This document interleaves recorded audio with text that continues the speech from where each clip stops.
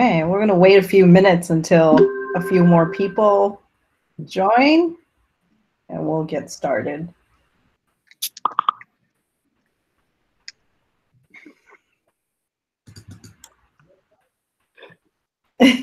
bye, bye, June. we, have, we, have a, we have a furry one.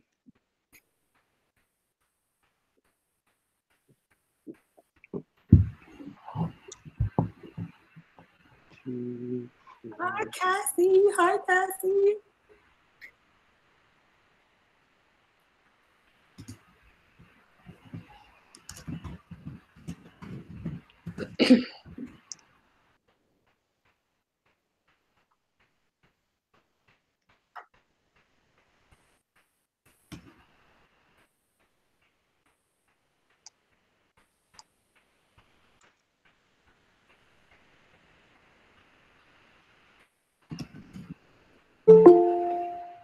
Stephanie. That was faster.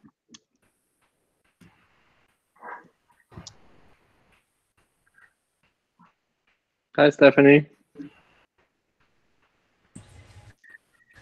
Hey. Hey, Cassia. All right. Yay. It's amazing. What which places how many people is in are in this event? 18. Okay, I found it. Ah.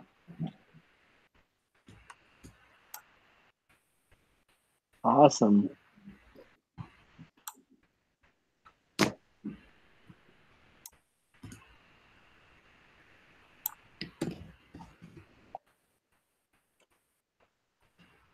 We'll wait two more minutes and then we'll get started. Sure some people are just getting off of work. Commuting to home. De- depending depending on yeah where you are, right? Yeah.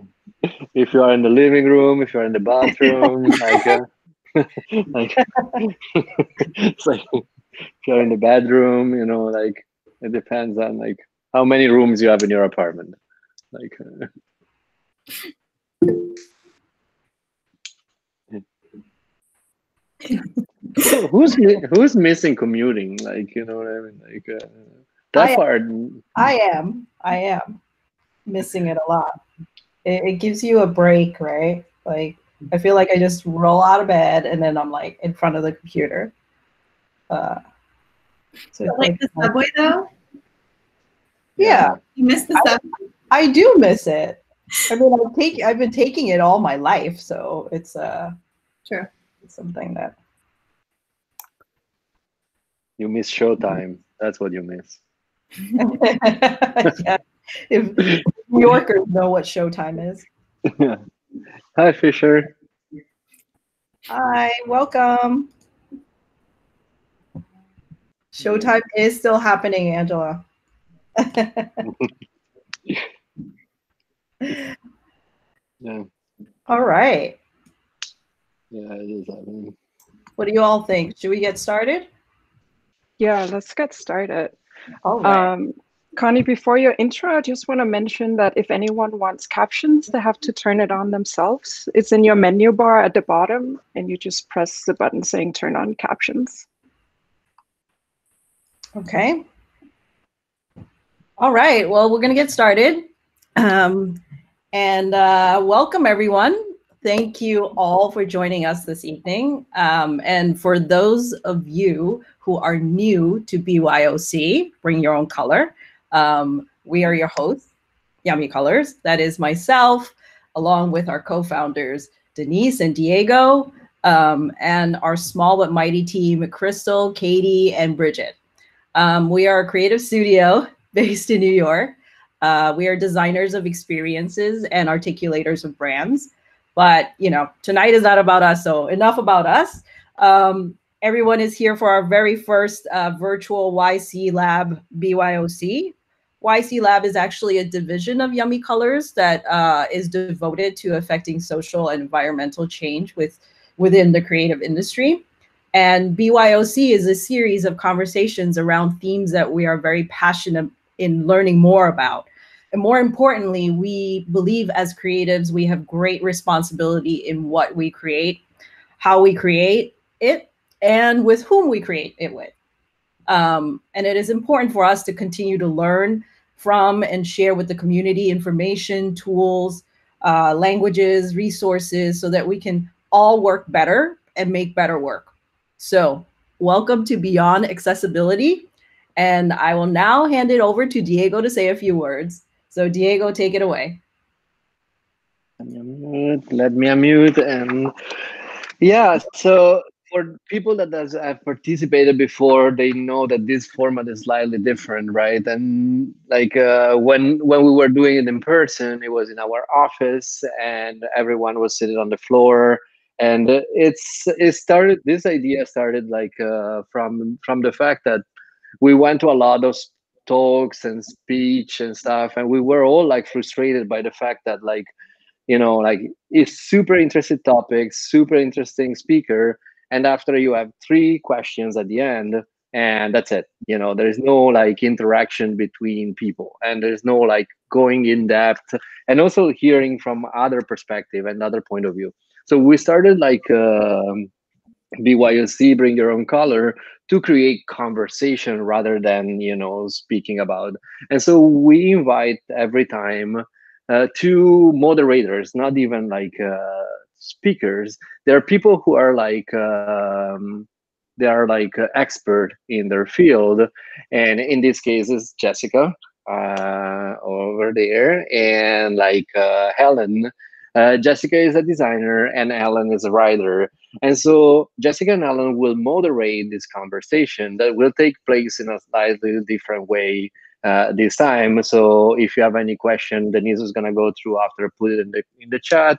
And uh, but we encourage participation right? So when raise your hand uh, raise your digital hand do something you know but ask a lot of questions because it's the only way that we learn from different point of view uh, one more one last point is like you know again uh, because we are here to learn we're probably saying or doing something you know wrong and we embrace wrong.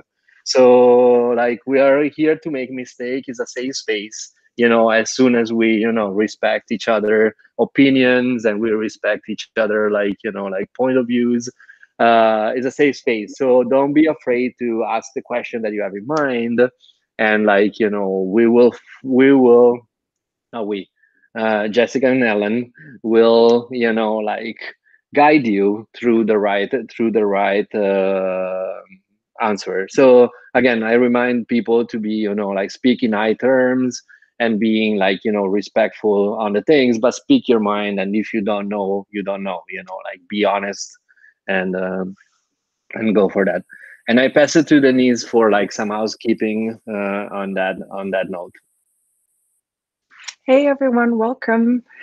Um, I'm just going to go over a few practical notes. The first one is that this event is being recorded, and by participating, you're giving Colors consent to doing so.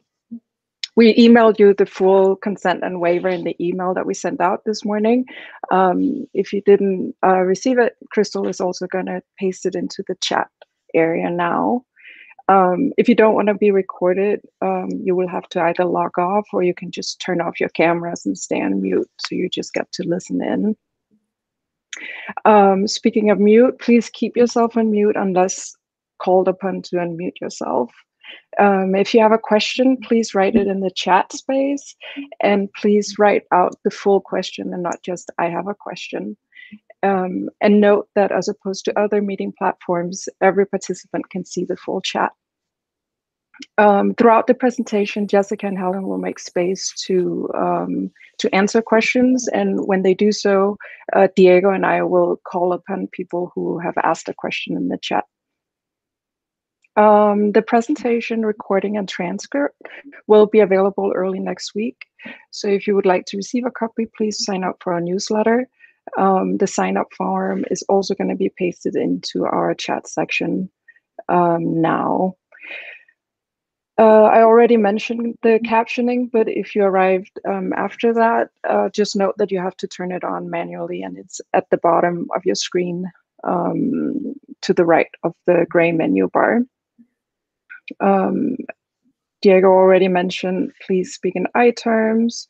Um, also, try to keep the topics within the design world. As with all the BYOC events, the topics that we pick are enormous, and by no means can we um, uh, cover cover them. So we choose to um, focus on the design world.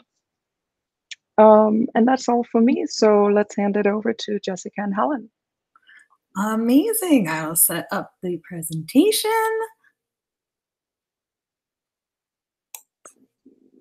Alrighty. So, YC Lab presents Beyond Accessibility, BYOC, featuring I am Jess, Jessica. Um, my pronouns are she, her. A little bit about me. I'm going to do a little description of me right now on the screen.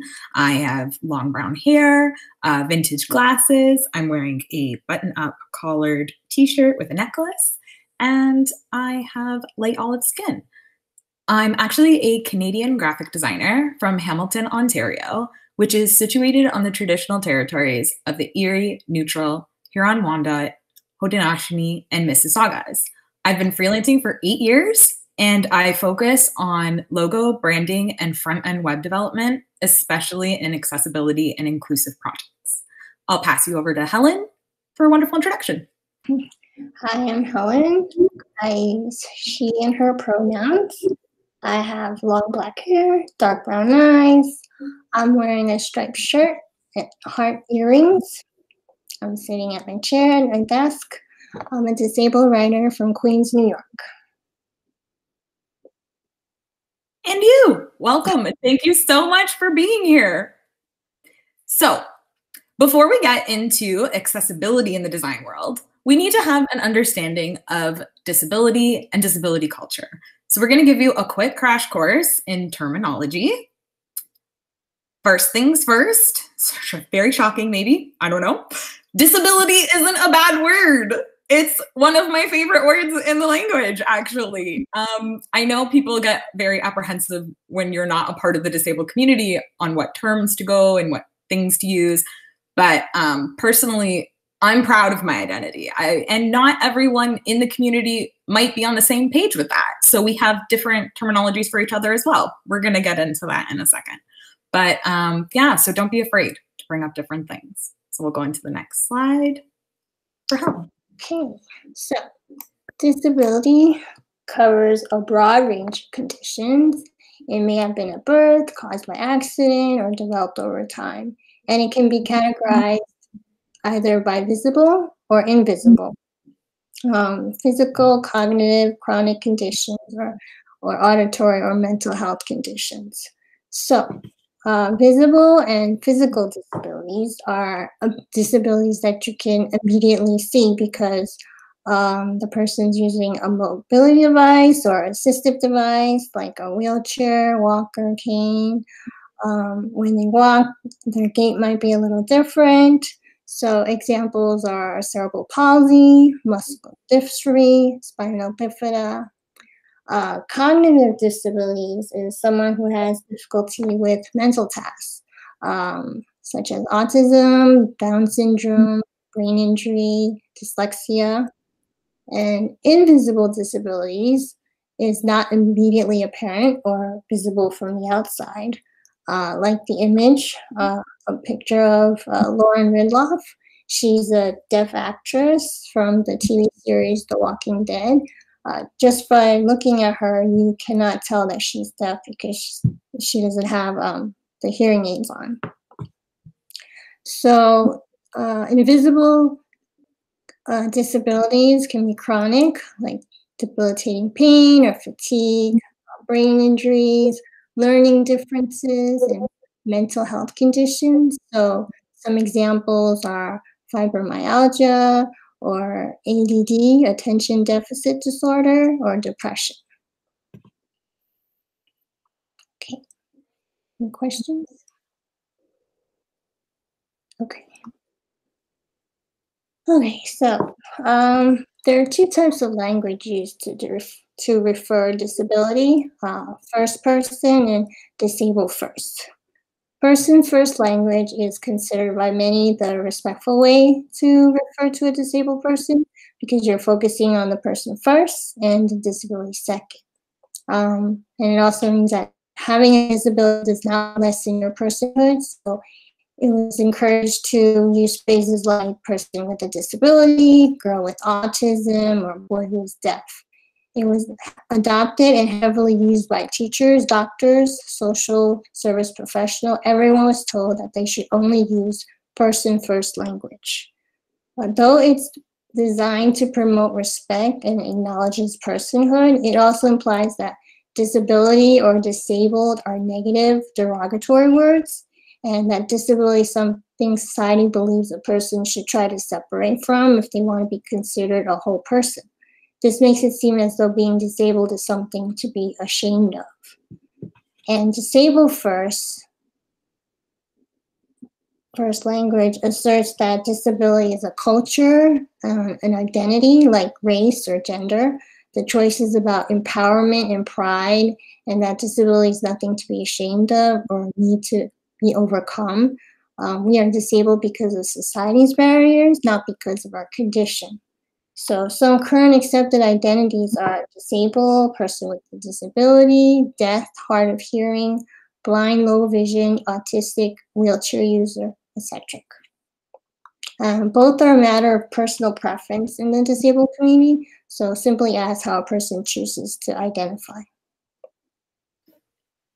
Helen, there's a question from Diego. Sure.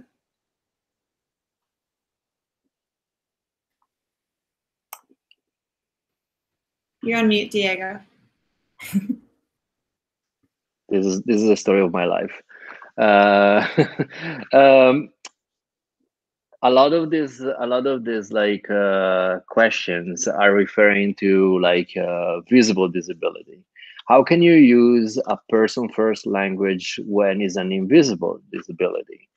Uh, and when it's okay like i'm thinking about like more on the verge on the verge of like you know depression or other mental illnesses that they're not very apparent. Um, jessica? Yeah i would love to take that one. So identity language is very personal. Um, within the community even with invisible disabilities not everyone might identify or want to identify as disabled or part of the disabled community. So there are gray areas in there um, as far as first and person language for a disorder of some sort like ADD, you can definitely use like person with ADD or I am so and so, I have ADHD and actually label the condition that way. Um, but that's exactly why asking the person's preference as far as conversational is always important because they have a right to choose how they want to identify. Um, when on the whole, when you're describing the disabled community, um, or people with disabilities, those two are both acceptable ways of doing it. And to umbrella it under disability is perfectly acceptable.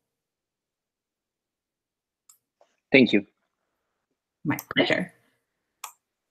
All right, so um, we're going to get into some other terms for you uh, because I'm going to be using them a lot throughout this presentation. Um, so non-disabled is the current term that we use to define people without a disability. What I love about this and what people usually don't understand the perspective difference sometimes is that it really brings the disabled community to the forefront of the narrative. It's like, you know, you're non disabled, you know, like this is our community. We're the majority here. We're the ones that feel like, you know, this is our livelihood, this is our environment. So a lot of people choose to refer to non disabled people when speaking of the average human being uh, and organizations have also adopted this language to give disability a better platform and a central narrative. You'll also probably hear people use able bodied to describe non disabled people. Um, this was used uh, and referenced within the community as well, but I find it's very physically based. So a lot of physically disabled people use that. But personally, I find the focus on the body itself or that it's an able body still implies that there's like a hierarchy that it's above a disability. So i tend to kind of avoid that narrative and it doesn't really um, account for other forms of disabilities like autism or neuro, uh, neurodivergent folks um, people with syndrome and those sorts of conditions as well. So i tend to use non-disabled and you'll hear probably a lot of people using that. And then we have ableism now, ableism is the set of beliefs or practices that devalue and discriminate against people with disabilities. It rests on the assumption that disabled people need to be fixed and is actually heavily tied to the um, medical model of disability, which we will get to in a moment. Uh, it's the notion or ability that your ability equals value or worth. It's so intertwined in our culture, uh, and it often forms harmful beliefs about disability uh, it often shapes how non disabled people learn to treat disabled people throughout their lives and childhood. And um, it's also due to that people with disabilities aren't included for key decisions. Moving on to the next slide. So, the medical versus social model of disability. These are the two umbrellas that we sort of categorize when we're talking about disability in the disabled community. So, uh, Carol Gill, who is a professor in the Department of Disability at the Human Development and the University of Illinois in Chicago, believes that there is an overemphasis on the medical model. Um, it keeps people with disabilities from fully participating in society. And here we have a picture of Carol from Sharon Snyder and David Mitchell's Vital Signs Crip Culture Talks Back documentary. Um, and they're sitting in their manual chair wearing glasses, a turtleneck, and pants. They have long hair and a low pendant necklace. But I know that brings up the question what is a medical and social model disabilities? What are the differences? So, um, the medical model of disability states that the person's disability is the problem and that it should be fixed in order for people to function in our normal, I put that in air quotes, society. Um, so, the medical model believes that disability is a deficiency it's something that's negative. Um, it's the individual's problem. It should be cured or fixed to conform to a non disabled standard of living. Um, and that it can only be fixed by professionals in the medical community. Whereas the social model of disability is something that we have been adopting more recent in history, especially after, after the disability rights movement. And it states that society's inaccessible barriers are the problem and not a person's impairments or personal disability. Um, the social model believes that disability is an identity, just like gender, race, age, size. It's natural, not a bad word, as we discussed. It's it's neutral as well. Um, it believes that the problem is inaccessibility and inequity within our society, and that's what holds us back. Uh, it also believes that it's society's interaction with disability that needs to change outside their normal standard of living. So, um, you know, really learning about disability culture and learning a new perspective about the disability community. And finally, it also um, really puts disability led solutions at the front and community care, and that, you know, disability like we are our best advocates. We know everything about our disabilities. I have 29 years of experience having a physical disability. So, you know, that should be the forefront. And then that the professionals can help and assist us and listen to us and what we have to say about our own disabilities. Okay, that was a lot to cover. Do we have any questions? There's a comment from Catherine. Catherine, do you want to share it?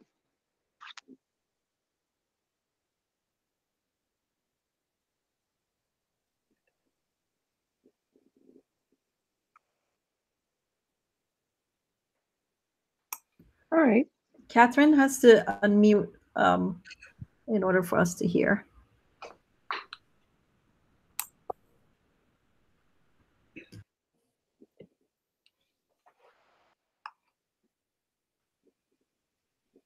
Or maybe not. She doesn't want to share.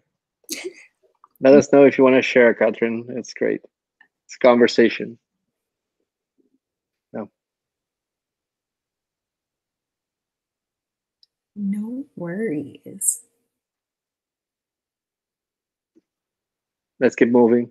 Okay, so moving on to the next slide, we're going to talk a bit about representation. So, representation in the community is a very important way to learn more about disability and actually get a real life glimpse of our daily life.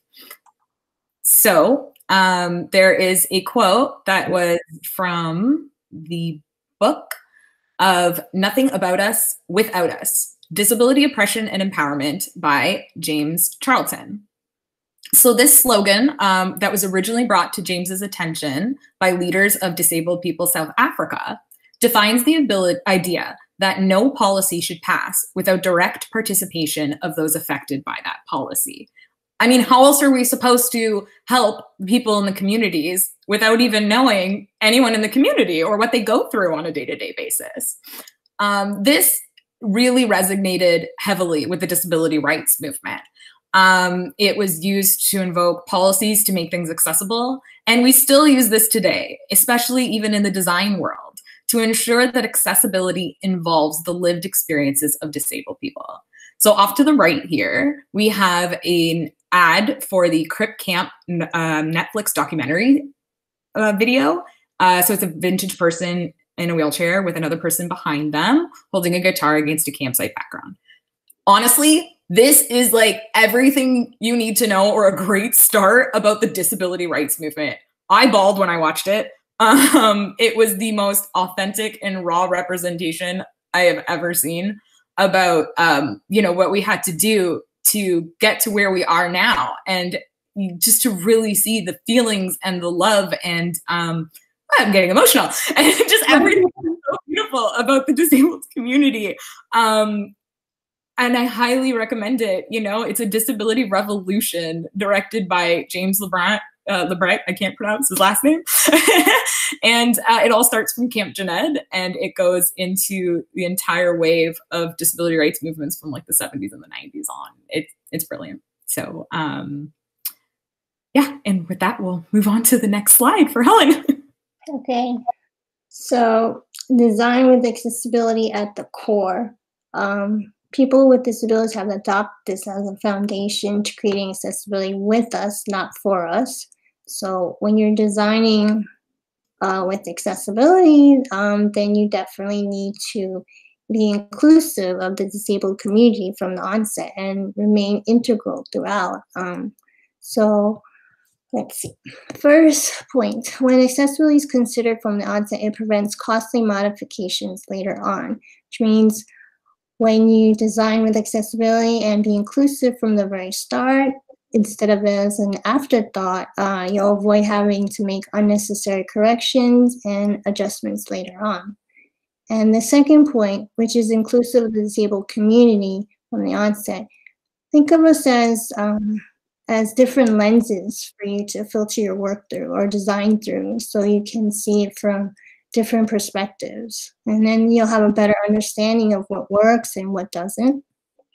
And then the third, depending on the project, at times you may have to step back and let the other lead. Meaning if the other person or community is more skillful or better suited for the project, then you should give them lead. Any questions?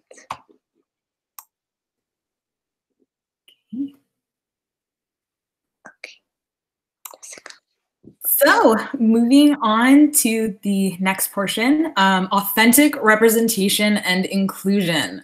Uh, one in four adults live with a disability in the US, and statistics are similar in Canada as well. Um, yet we barely are represented in the workforce, in Hollywood, in media. Um, there are systemic barriers and ableist assumptions that really make us less likely to be hired than the non disabled individual, even with um, acts and human rights movements like the Americans with Disability Act in place. Um, you know, a lot of people don't want to put in that effort or don't understand that effort sometimes. So it can really um, hinder us from that. This can really only change by centering the narrative on disabled people. Um, disability led projects are often the most authentic media representations. Um, you know, we can't showcase the disabled experience without reaching out to the ones who are experiencing it. We're human, right? Um, and to have to say that is so bizarre, but you know, just like everyone, there's emotions. We're either sexual or asexual beings. Um, there, we have our own experiences, our personalities, our amazing intelligence and adaptability. You know, um, and so the the key is is to involve us. You know, hire people with disabilities, um, consult with people on projects involving our community, um, even with accessibility. You know, get our experiences um, showcase and support our work as well, you know, and include and, and compensate us for our contributions. So uh, to the right, we have a photo of the beautiful Hannah uh, in a wheelchair with their hands across their chest, and celebrate this body is written across their chest in cursive. This is a disability led movement and also involves other people of marginalized communities too, which is wonderful. From This Body is Worthy, and that's Hannah, the creator, and they celebrate, um, you know, bodies outside of societal norms. And it is some of the most beautiful photography I have ever seen. Um, so, do we have any questions? Yes, Diego has a question. I have two questions. Uh, question number one is like, isn't there a law that mandate uh, to hire disabled people, uh, like as a percentage of the workforce or something like that? and I asked both questions, so it's really faster. Um, isn't it offensive to hire a disabled person just as consultant for their disability? Very great questions. Thank you um, for them. And there are laws in place and human uh, again i am canadian so i do know that the american disability act covers a lot of these in workplace inclusion. However, there are often barriers um, within the systems themselves, as well as you know privatized businesses themselves on how they can choose or how they mask not hiring a person with a disability. Uh, you know, oftentimes putting things on res on requirements like must be able to lift 25 pounds for a job that does not require any lifting whatsoever, like putting that in a graphic design, would be a way that they are legally allowed to decline someone with a disability when it actually has nothing to do with the requirements of the job. Um, and as well as your second question, um, token hires, you're right. You don't want to hire someone just because they have a disability. You don't want to um, just do it to check that box. The reason you're hiring disabled people and consulting with them on projects around disability is for our expertise, is for our years of knowledge, um, is for our adaptive way of maneuvering in a society that wasn't built for us for years. I mean, you know, before the 70s, you couldn't even go onto a bus. You know, schools weren't even integrated until the 1990s, which means I didn't I was the first wave of students that was allowed to go to a school that was um, for everyone. And so when we look at those and what we had to deal with for so long, um, you're not hiring us as a token. You're hiring us so that we can give you our experiences and make things authentic and representation from the start. Thank you. No, I wasn't thinking about it as a token, but more as like, you know, like, you know, like let's say, again, to your point, like, you know, like uh, architectural project or like, uh, or like a design project, you know, hiring a person with disability outside skills. And again, it sounds harsh when I said it, and probably it's wrong, but I'm saying it anyway uh, outside the skills required for the project, right? So that's the things that I was like trying to point out, like how do you manage this, like paying somebody because you want to be compensated, of course, and you want to compensate, right? A, a consultant, uh, but consulting just for your disability can it can it be perceived as offensive or not?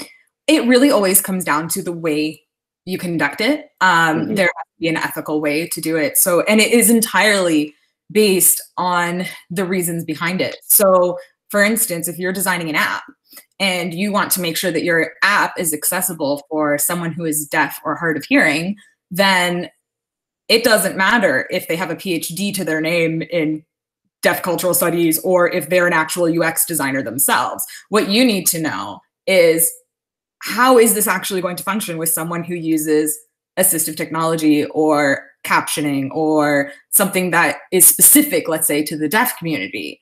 Then you're going to need to consult with the deaf community. So um, the best way to do that is to create like focus groups. Uh, is a way we've done it in the past in my design experiences.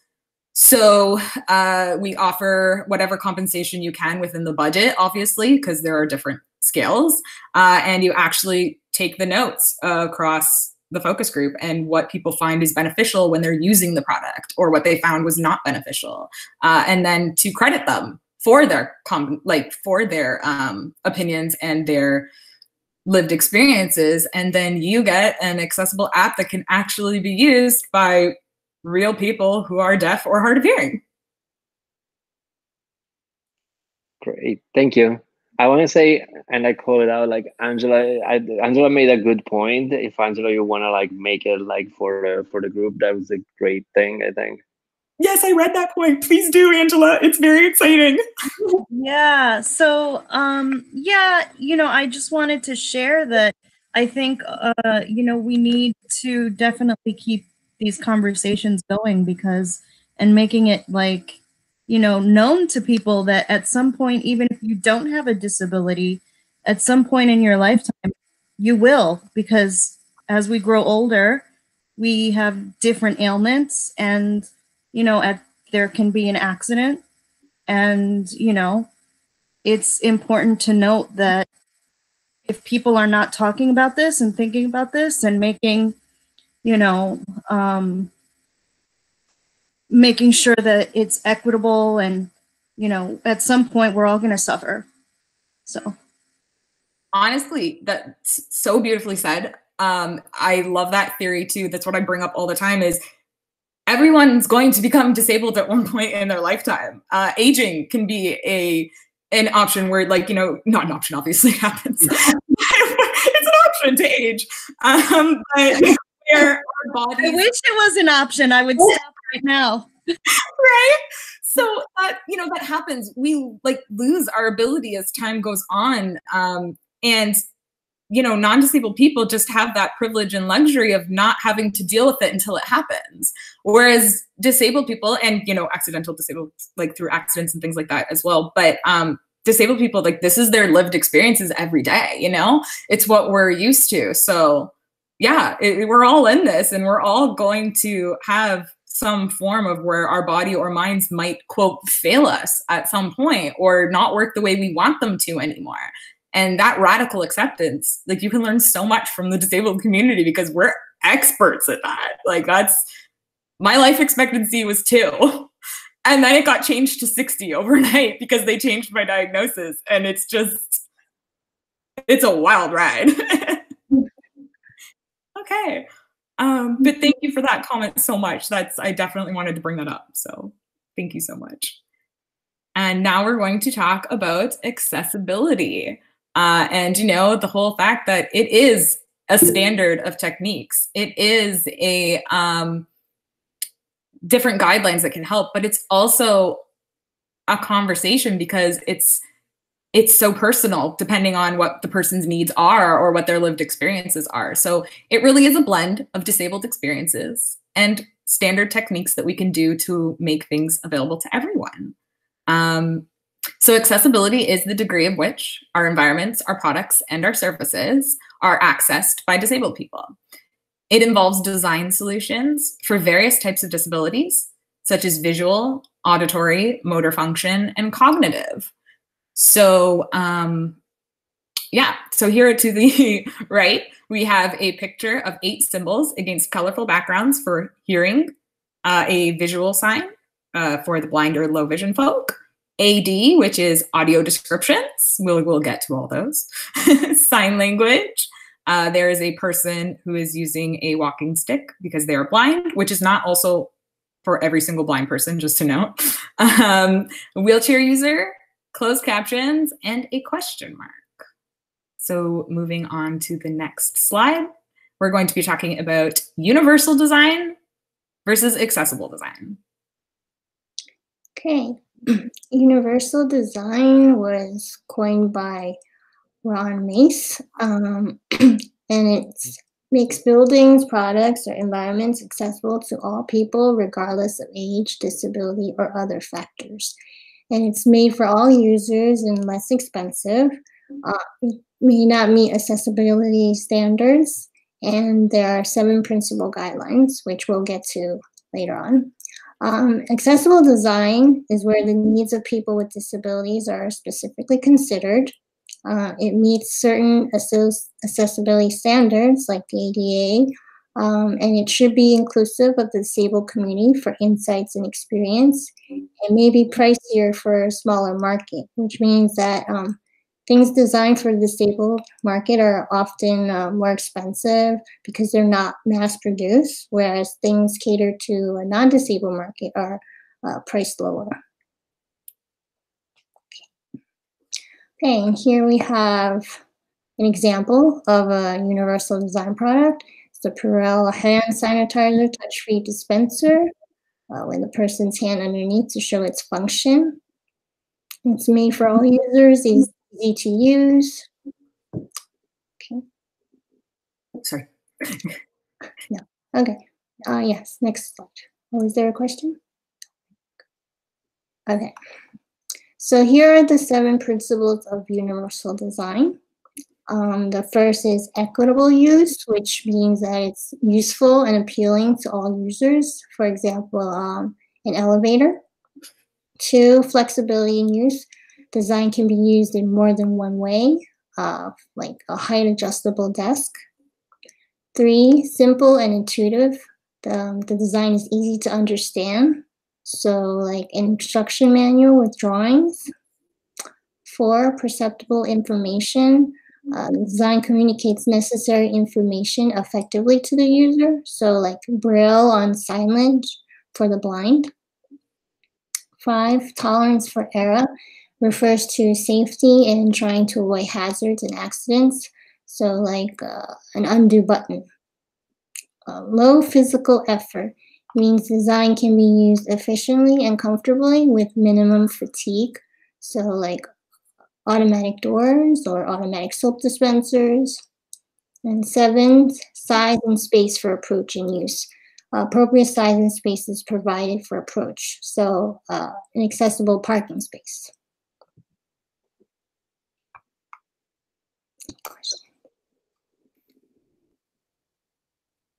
there.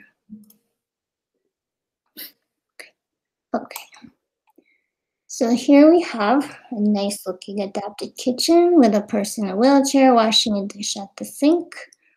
Um, so in this case, because it's considered an accessible design, it would need to meet certain ADA standards. Or for those who don't know, ADA stands for Americans with Disabilities Act. Uh, so you'll notice the sink counters and cabinets are lowered for easier reach. Uh, the layout is usually L-shaped because it's the most functional and adapted for uh, almost any space. There's a wide section of counter space and there should be clearance space at the bottom of the sink and stove so a wheelchair user can pull up underneath. We have a question from Cassia. Do you want to share? Oh, um, can you hear me? Yep. Okay. Uh, so this question is for either moderator. Uh, what are your thoughts on the sudden ability of industries to accompany disabled employees when they weren't able to months or weeks prior to shutdowns caused by COVID 19? Excellent question. Oh, I love it. Okay. I'm not going to lie. I was a little resentful. Um, you know, for years we've been hearing, oh, sorry, we can't do, um, you know, we can't do work from home scenarios. Uh, actually, part of the reason why I didn't join a design firm uh, and went freelancing was because there weren't many that offered me enough flexible hours that I could take a day off to recuperate or, um, you know, change my work schedule depending on my fatigue was doing that day. And then all of a sudden, non disabled people were like, how am I supposed to work from home? How am I supposed to do this? And everyone was like, no, it's okay. We got you. You can do this. So, without being rude, it was kind of a bit of a backhand to everything we've been working for. Um, but you know what? I find people only know so much as their personal experiences sometimes. It's it, it is hard to look outside of your norm, you know? And so if anything, I hope that what this does bring is better accessibility for the future and a better understanding of what disabled people have to go through through isolation, through workplace accommodations, through all of these adaptable, wonderful technologies that we have to help aid us in this time and in the future. So I'm hoping that there's a light at the end of this for that.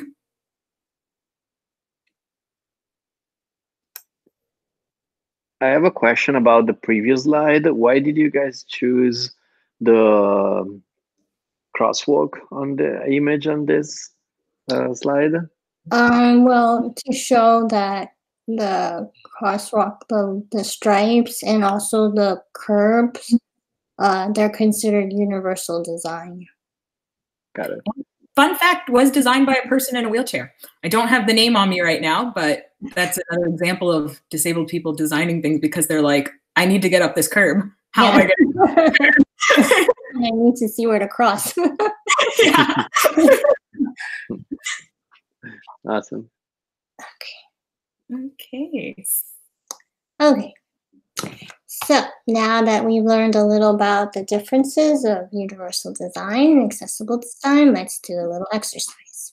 You'll see uh, an image on the next slide. Do you think this is accessible? So this is an image of Robson Square Path in Vancouver, Canada. It's a black and white photo of a ramp that zigzags across the stairwell. A person is sitting on a step.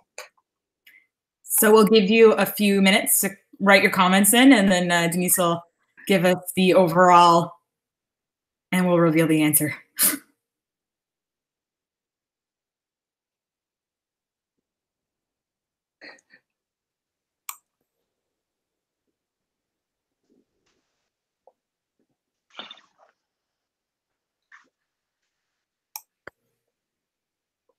A people say no.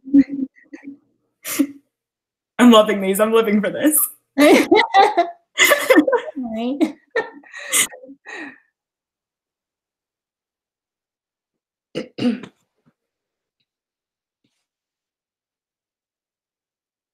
All right. I think we got a good going. Okay. Most people are saying no. Okay, and you are correct. Um, so some see this and they see the ramps and think, yes, it's accessible. And they like the design because the ramps blend into the stairs. Um, so let's see. This is actually considered a universal design. Um, and let's see what why it isn't accessible. Well, first, there are no handrails along the ramps for support. So if, if I was going down the ramp or coming up the ramp or someone walking on the ramp needs to hold on, they can't. Uh, second, there's no separation between the ramp surface and the steps merging into the ramp. That means if I'm going down the ramp in my wheelchair and it glitches and slips and I hit the step, with the steepness of the slope, I could easily just tip right over. And third, there are no contrasting strips to show the edge of the step. The stairs are all the same color, which makes it difficult for someone who is visually impaired to tell where one step begins and the next one ends. Yeah, and just to jump on that because I don't, I feel like I have to. It's a Canadian thing. It's like this is all about.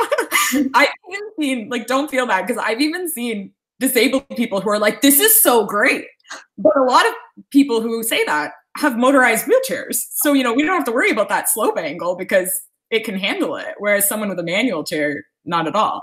And it is. It's so beautiful.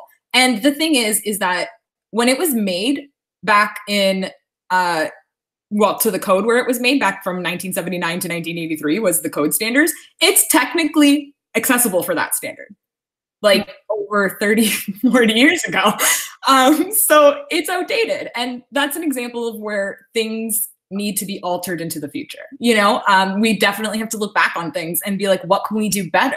Because this is a huge safety hazard for a lot of people. My chair did glitch once where my footrest went right into a wall because it drove sideways all of a sudden on me. Like, could you imagine the severity where there's no guide rail to stop me here? You know, it would be terrifying. Um, so there was even a proposal to provide an alternate method, like you know, to the side of these steps, provide an elevator so that if someone doesn't feel safe or comfortable and it's not for them, then they can have an elevator to go down this path rather than having to take the questionable stairway. And it can still be beautiful and useful for the people that can use it. And then it can be, you know, safety for people who can't. Thank you for letting me rant on that. Okay, so now I'm going to show you some examples of design inaccessibility. Next slide, please. oh, yes, sorry. Okay, okay, so we have here the Hunters Point Library, which is newly built, state-of-the-art building, uh, which I had the pleasure or not, depending on how you look at it, um, of visiting when it opened. And the first thing you see when you go in is the natural light. It's beautiful. There's like wood, and then lots and lots of stairs. So one of the problems uh, in the accessibility in this is the picture here on the second one where you see rows of bookshelves at different floor levels with a long staircase to the left. So this is not accessible by one elevator that they have and it's only reachable by the stairs. And the library's response to that, that yes, the building is up to ADA code when they built it. And the solution for this was that anyone who needed books uh, in that area, they can just ask the staff and they'll go get it for them. Okay, so uh, what else? Also the, oh, not yet. getting ahead of myself. um, also, the one elevator that they have, which is for all five floors, um, get really congested, and the wait time is like unbelievable. Uh, usually, it's like five or ten minutes, but when they have like uh, on the second floor, they have like uh, the children's department, uh, children's wing. Sorry, um, when they have story time. So a lot of parents and uh, babysitters uh, bring the kids with the strollers and it takes up, you know, a lot of time for them to go up and down. And also the second floor where they have the elevator located, it's right in front of the stroller parking area. So it's like very difficult and it's like an obstacle course trying to get through that. And one of the highlights uh, they said was the panoramic views of Manhattan that you can see out the windows. But yes, but you can only see it if you're standing on the stairs. So it's not accessible. okay, next slide, please. Okay, uh, so here on the left, you have a concept sketch of the library's interior showcasing the multi-level bookshelves that was done in 2010. And then on the right, you see the photo of the finished um, section, which was taken in 2019. So in that nine years, uh, no one thought about like the stairs or how to get in there another way maybe. Uh, so there was no changes. Next. Do we have any questions on the? Oh, do you have any questions? I'm sorry. Yeah, Emily, do you want to ask your question? Um, well, I, first of all, thank you for, I see that you're crediting the architects here because I was curious who did the design. Um, and then this is going back to something I think in a, a couple slides ago, excuse me. Um, but I was curious, like, if we say, you know, here's what, here's an example of successfully or successful design in terms of um, like accessibility and equity. Like basically who because 30 years ago certain persons were left out of that um like who are we not recognizing now? I'm, I'm just curious if you guys have a perspective on that. Yeah, great question. Um, oftentimes, like so much has moved forward and yet so much remains the same. It, it so depends on the industry you're talking about. Um, I find that physical disabilities get the highest amount of representation.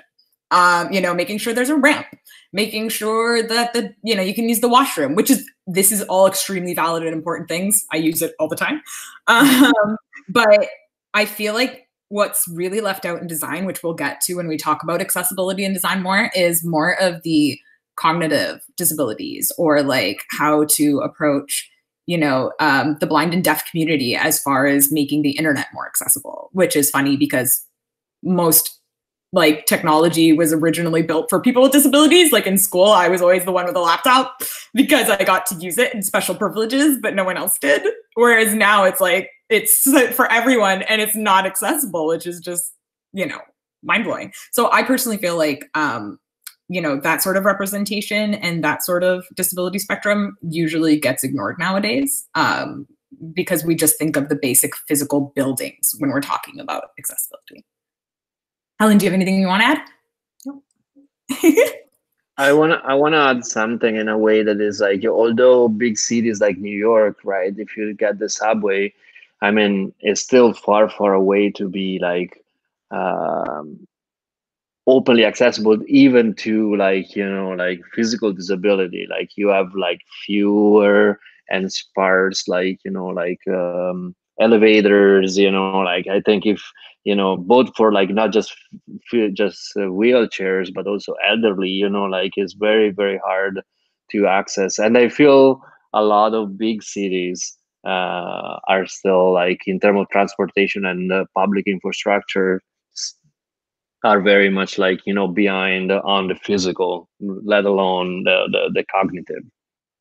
No you're so right. Um and it's so funny because you would think the city like there's so many ups and downs right? Cities um it's like a hit and miss. I went to New York for a few visits and a few projects, and yeah, it was like, oh, I can't get off this stop until like, like so many blocks, and I had to like go backwards or like alternate paths because it's always under construction. um, whereas like rural areas or areas that aren't like the downtown core, like I'm up on the mountain where I live, let's say, it's not an actual mountain, it's an escarpment. But up here, our bus transit system, it's like you have to wait 20 to 30 minutes sometimes for a bus to come in. And it's like, how am I supposed to even get to the accessibility core of downtown where they do sort of have more like crosswalks, more, um, you know, our bus system's pretty good here. So it's really relative of where you are. Um, but I can't even get there because the stuff up here doesn't care. okay. So, thank you. Yes, thank you for all of this. Um, websites. This is my jam. Uh, this is what I do. so, uh, for inaccessibility, uh, websites actually have to be at least A to double A compliant in order to be accessible. When I talk about compliancy, I talk about it in regards to the Web Content Accessibility Guide. We're going to cover that much later into the accessibility portion. Um, so, A is a level essential for assistive tech to read or understand or operate a page. And AA is ideal support required for most public body websites. It is actually an ADA requirement by law, not necessarily for the WCAG standard, but it is a legal requirement that websites have to be accessible. And here, uh, happening in 2021 as well, and I believe in parts of the states as well, it is actually going to be a legal requirement for WCAG web compliancy. So it's an important thing to think about. So here um, uh, we have a beautiful website example, uh, and it was listed as one of the 15 best modern design portfolios of 2020. Yet it has such major accessibility issues that affects its compliancy. So off to the right here, you'll see a screenshot of the homepage for Julie Bonnemov's website. Uh, it's got a large organic blob color floating against a gray background that overlaps text. Um, as well, there's a peace sign in the top corner and a nav menu to the top other corner. Uh, moving on to the next slide, we're going to talk about why this website isn't accessible. And there's also another screenshot of another page, which is their portfolio page. Um, so the color contrast here is really off. Uh, it doesn't meet the contrast ratio. uh, which again we'll get to in accessibility. So you can't really distinguish foreground elements from background elements and what's clickable, what's not clickable. Um, illegibility. There are text elements here that we can see that overlap other text elements. However, the text elements in the background are links. So you actually need to be able to read what they are and hover over them, but they're not really accessed. Um, navigation here, we have uh, I I tested this myself because there's no way to really show it on a screen presentation. But um, navigation with a keyboard is when the entire interface of the site can be operated through a keyboard. So you can press the arrow buttons to scroll. You can tab through the hierarchy. So you can tab through the menu options, press enter, things like that. So this site cannot be read by a screen reader because the way it's or navigated with a keyboard because the way it's um, set up and through its animations it, it doesn't follow a familiar structure. It changes organically. So it's very hard for this tech to keep track. Um, and the structure, there's no coherent structural format or hierarchy. If you actually visit the website and you click on something, pages move across both axes, uh, axes, I believe. uh, so, you know, it'll start from top to bottom, but then all of a sudden it'll move left to right or right to left uh, with no indication of where you are on the site when you're navigating through it. So um, that's a pretty hefty one. Do we have any website questions? No, we have a Facebook specific one. So we're Ooh. saving that for when you get to Facebook. Yes, you are all so ahead and on the ball. This is great. I'm so proud. okay. So on to the next slide. We're going to talk about Facebook accessibility. Okay. So one thing that is supposed to be amazing, and it had great intentions, um, was that Facebook uses automatic alternative text.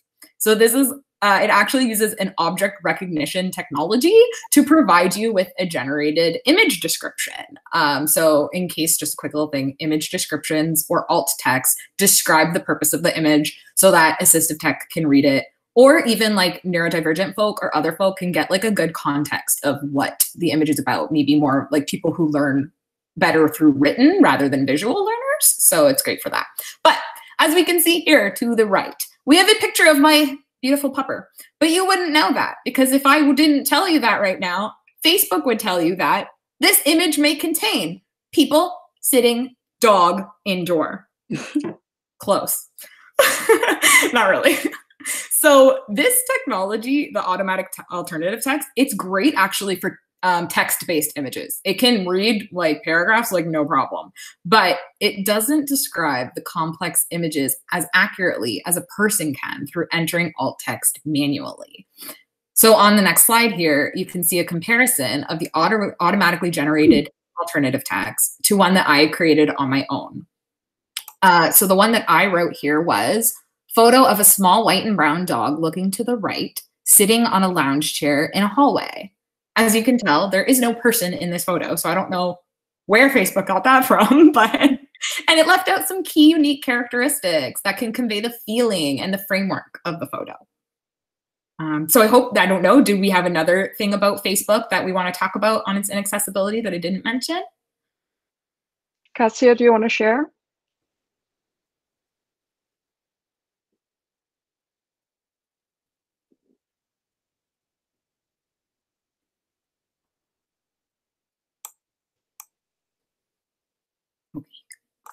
No worries. We can go back if you feel like sharing. um, so on to the next slide, we're going to talk about uh, inaccessibility for Instagram and Instagram stories. Uh, this one is a huge thing for me because we actually, they did have a thing where they met with model Jillian Mercado, who has a physical disability, to talk about Instagram accessibility. And she sent out a tweet that asked everyone, like, what is inaccessible about Instagram that you want to change? Every single person I was was like, the stories aren't accessible. So right now, there's no option for adding alternative text to any story content um, or audio descriptions or captioning, live captioning. So right now, you actually have to manually apply your captioning with text. Um, or you have to use an external app to create your own videos, add in live captioning, add in audio descriptions on top of that which describe like the scenery of the place. It's usually in a monotone voice. You hear like this person entered a room and then it goes into the actual audio. Um, so uh, in order to make stories more accessible manually, we have to do it that way. So here you see a picture of deaf artist Chella Man, uh, who talks about before the 1973, people with disabilities had no access. And he's really big on accessibility, especially within the deaf community. And so other people like him, myself, so many others currently have to find our own unique way of manually making things accessible until Instagram kind of gets on that. Um, do we have any questions?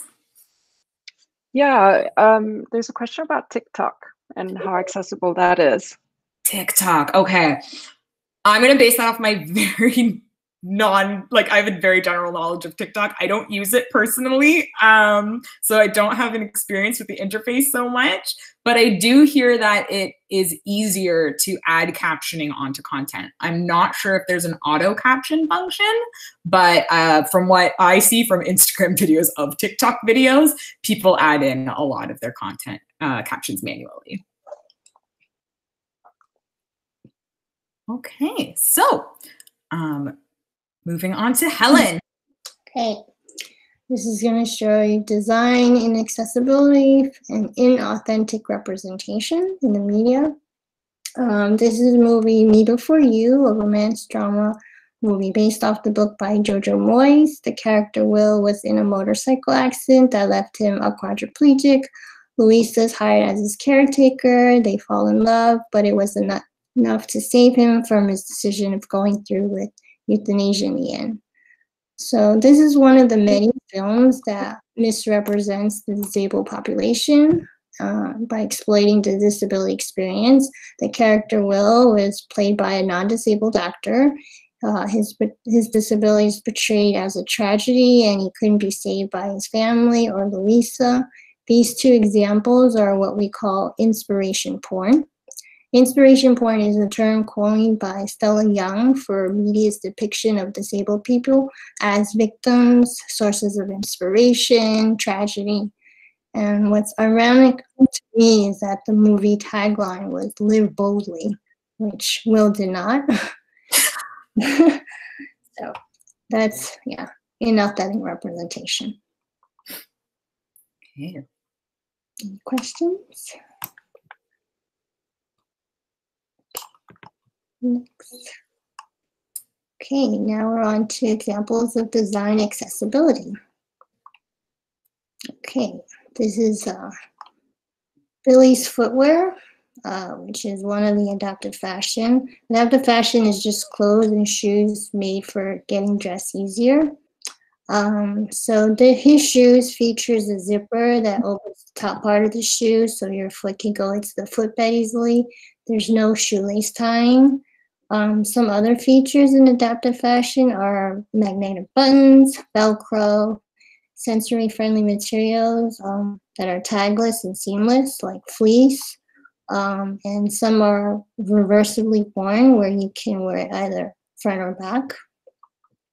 And there are more brands that can be found in the resources and links section, but just to name a few others, Rebirth Garments they're like gender non-conforming clothes and accessories for all types of abilities, as well as uh, they do custom orders.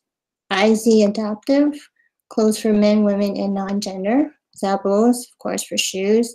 And Tommy Adaptive by Tommy Hilfiger. Okay. Right, moving on to design accessibility, web accessibility checkers. Okay, so here is an example of one, a company called AudioEye that has a whole suite of digital accessibility products and services for equal access, enhanced user experience, and sustainable accessibility solutions for businesses. One little nifty info too is that um, their advisory actually their advisory board has a person with a disability on it as well. So you know that this company is actually having lived experiences when they're talking about their stuff. Uh, so this app screens and fixes wcag errors in real time. Uh, and it is certified ada compliance when you're building your site so like off to the right, you can see three screenshots from AudioEye website outlining their business model, their admin dashboard feature, helpful resources, and uh, their builder tool to show how it looks when you're actually fixing something in real time. There are some few uh, free checkers out there as well. Uh, you know, achecker.ca. There's the Wave Web Accessibility Evaluation Tool. And there's an entire guided checklist on the Ally website, a11y project.com. And those are, that one's in the resources as well. Uh, and these will actually scan your current site and it'll actually give you like line for line coding of where the error is, what the error is, and what compliancy issue is there. So that's a great start when you're talking about trying to see where your website is at with web accessibility standards. I highly recommend them. Next slide, we're going to talk about uh, website development. So here is an example from Kai Prince. So his website's kaiprince.xyz. Uh, and he actually builds his site from scratch and then uses um, some plugins. And he even implemented a code that will not allow him to update his website if it's not a compliant feature. So he is brilliant, and I love showcasing his work. Uh, he's a freelance web developer focusing on accessibility. His work is fully AA compliant, but also includes some AAA features. Some of his accessibility features include proper keyboard navigation and structure, a contrast ratio of, for text of five, four to five to one, which is the color contrast you need for low vision folk, uh, as well as just it's generally easier on the eyes as well when you're looking at things, so you don't have to squint. Um, all of his stuff has alt text and image descriptions. And there's legible font size and spacing here. So that also has like a 1.5 uh, leading height as well. We'll get into that in design accessibility. Actually, I have a bunch there. And uh, there are widgets to change the format, which we'll see on the next slide. Um, so here on the next slide, we have a close-up of his accessibility widget, which is actually a plugin from UserWay. So the first widget allows you to actually let users custom customize the websites to their own uh, standards. So you can click the little button to make sure keyboard nav is on. So it'll like add a little outline while you're tabbing through all the content. You can have it read the page to you. So if you don't have a screen reading device, this can do it for you. Uh, you can increase the contrast. So if you can't visualize or difference things, it'll increase. Um, you can highlight your links so that people actually know where the links are. Increase font size, uh, in, uh, increase text spacing, pause any animations so that if like for people with epilepsy and things like that, if you actually can't have animation, uh, as well as people who are neurodivergent, um, it's often like distracting. There's a dyslexia friendly font that it can be changed to as well as cursor options and different tooltips to help you navigate the website. Another one that I love that he includes is adjusting your reading level. This is what people don't understand is actually really important for accessible design is your content needs to be understandable. You know, you should try to steer away from using idioms and things like that that really make your like unless you're a legal site or a government site, there's no reason to have like 50 paragraphs to describe one thing. You know, it's too much. So he actually has a widget that will alter uh, the text from a grade 12 reading level to a grade 10 reading level to a grade 6 reading level. That way things can be comprehensible for everyone. And I really love that. Um, so websites again are kind of a big one. So does anyone have any questions before I jump into the next uh, topic? Yeah, there's both a question from Diego and from Angela. Diego, do you want to start? Sure. I was like, what is your take in general about online shopping? I think like, you know, uh, recognizing a product, what color, what size, what like, you know, style for like uh, people with like uh, with disability. What is the facility or easiness in in uh, buying online now that we are moving towards an online world besides Amazon or these big ones, right? Smaller brands. Yes. So when we include every single dimension you can for the brand or like for the piece of article of clothing let's say that you're buying that would be a huge plus right? I want to know exactly like how many inches underneath you know like the arm area how long is it exactly? Like you got to get really specific with how it's used the type of fabrics that you use like explaining if there are any blends of anything um So like I have scoliosis, so for me, like things never fit. A medium, I'm I have stuff from a small to an extra large in my closet just to fit my back. So um, if you can get really customizable with like and descriptions too, like add descriptions of the model and what they're wearing, describe the garment to a T, you know, like if you're having a t-shirt, explain the color of the t-shirt, the brightness of it, what's said on the t-shirt, all of that. If you put captions involved in that too, it'll make I think shopping really easy. Um, Helen, do you have anything to add to that one about like adaptive stuff? Um, I think you covered it. okay. But, but but do you find that a lot of do you find that a lot of brands are like doing it? No. Yeah, not really. Most things. Okay. Yeah, I know. Go ahead, Ellen. yeah, not really. Um, I can't find any. I mean, even even with uh, the adaptive one, uh, they're they're not, they don't show. I mean, they just show like uh, with the shoe open or the shoe. They they don't actually show it with the shoe on the person. You know, to how it looks or how the person like can put it on or whatever. I think that would give a better uh, feel, and you know, people know how to do it. Nice. Thank you. Angela, do you want to ask your question? Oh, sure. Um, I was just wondering if you knew, um, you know, let's say like for a starter company or a small business, um, generally, if someone wanted to start a website, how much does it cost to do either a review or to start it off from fresh as an accessible website? I think Helen made a great point in the beginning, where is if it, you know, you don't have to fix it if it's if it starts off um, accessible from the start. So I was just wondering if you know how much it might cost to start one that is fully accessible. Yes, of course. Okay, so it obviously varies between um, the person's level uh, within their business as well, right? Like, so you could hire like, uh, for instance, Kai is like a more of a junior developer, so he can do everything for a standard, but for probably more of a price for a startup business. Um, I'm just like double checking his personal one to see because it's usually, but you're right. If you start things off accessibility from the start, it's going to be cheaper because you're not going to have to pay for someone to audit your site and see how it's going and then also provide an entire document of things you need to fix. And then you have to hire them on top of that to fix all of the things that you did. So I'm just waiting for it to load while I look up specific. I might have to get back to you in the chat with the specific prices. But no, that's that's totally fine. I was just wondering if you knew um, from the top of your head, but that's that's totally fine. Um, I definitely think that you know it's something to consider. Um, I'm starting up a a website, and I want to keep this in mind. Yeah, of course. Um, so you definitely like, I know the rates are usually slightly more on top. So like it'll be a standard web design rate, and then they usually add a little bit more for the hour for doing that. So it'll be like maybe an additional $50 an hour to add the accessibility features on top of whatever their standard web prices are. Um, and then consulting is usually like standard fees. So it'll be like this set price of let's say anywhere from I don't even want to say price because I don't want to undersell it for people. I I'm, I'm yeah no no that's fine. Would you be able to share later just some um, good places to go for that kind of support?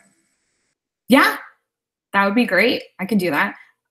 Um, just to ask, would it be cool if I like did some research before when we send it out? That way we can like add it in there and I'll add it to the resources. Okay, great. Awesome. Okay, yes. Thank you so much for that question. All right, so moving on with the presentation, design accessibility, video game development. So I am not a video game designer. So like, this is just something I saw and was super excited and passionate about. Um, the Last of Us Part 2 by Naughty Dog is arguably the most accessible game ever created. It, uh, even when it launches right from the beginning, it brings you to an options dialog before you start the game. So users can switch everything and make them super comfortable for themselves um, before they even have to start the game. So you don't have to worry about missing content and starting it and not knowing what you're doing. Um, so it also begins with text to speak functions right off the bat, so every player can instantly understand. Uh, their features, they actually include some vision accessibility like text to speech, uh, high contrast display, audio cues, things like that. Hearing accessibility, there are options for like indicators, pickup notifications, prompts. I'm gonna like bring you to the next slide too, because that's where you can see like this is their menu. This is just an accessibility menu. It's beautiful. I mean, it's also options for the game as well, but it's just brilliant. Motor accessibility, so like you can lock on the aim so you don't have to actually like hold on to a button while you're trying to like well shoot someone in the game because that's the premise, but we don't condone violence here.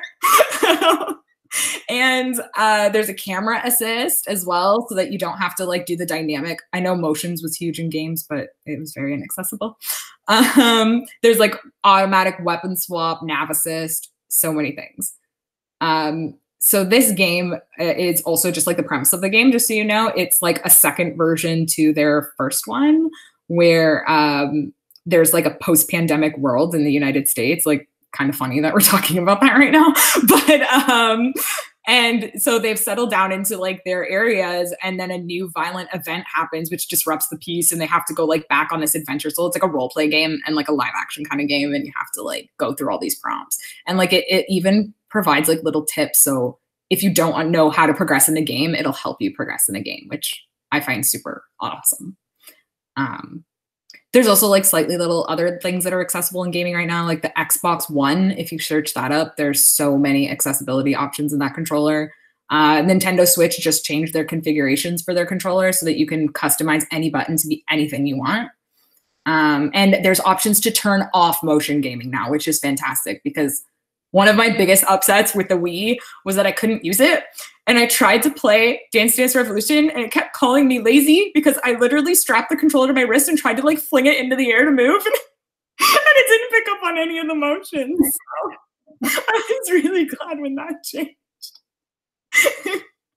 um, do we have any questions on gaming at all before we move on? No.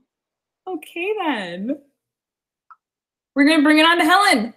Okay, so this is representation in literature. Um, Ole Brooks publishes stories um, written only by disabled writers um, because he seeks to expand representation of disability in literature. Um, disabled writers and talent are still not included enough in the in the publishing industry. Um, a 2019 Publishers Association survey found only 6.6% of the workforce identify as having a disability, and there aren't any available statistics on disabled authors. So when we look at books published about disability, the majority are written by non-disabled writers like Jojo Moyes, Before You, and books with inaccurate portrayal of disability only continues the negative stereotypes. That's why it's so important to have disabled people writing and telling their own stories. But it's also important for the book publishing industry to hire and create more accessible and inclusive space in positions of leadership, like agents, editors, critics. They shape how readers view disability as well as whether disabled talent is promoted or ignored.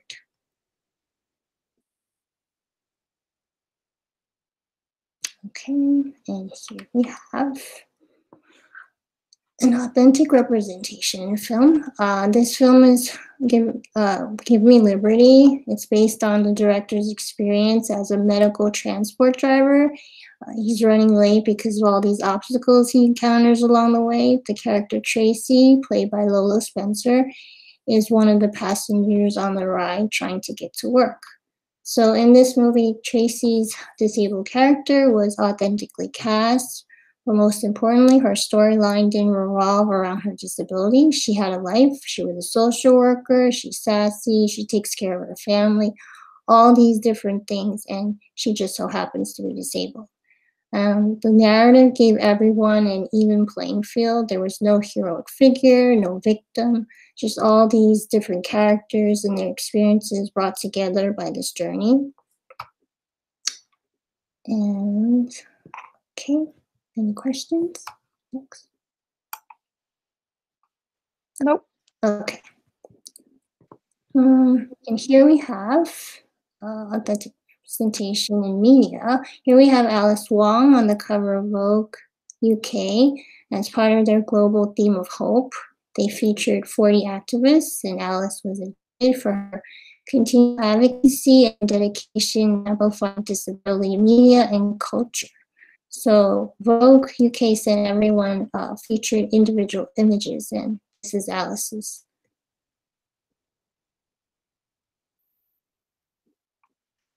I wanna I wanna add like a, a quick comment that like Vogue UK Mhm. chief, editor in chief is Edward Enninful and is like the first black editor in chief in Vogue and an amazing person.